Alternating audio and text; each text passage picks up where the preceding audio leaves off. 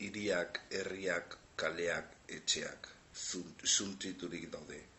Familia, lagun eta ez ezagun asko hil egin dira. Baina bizer, musi eta gaz hor daude, borroka egiteko prest. Hala ere, beraien etxain nagusia hor dago eskutatuta eraso egiteko zain.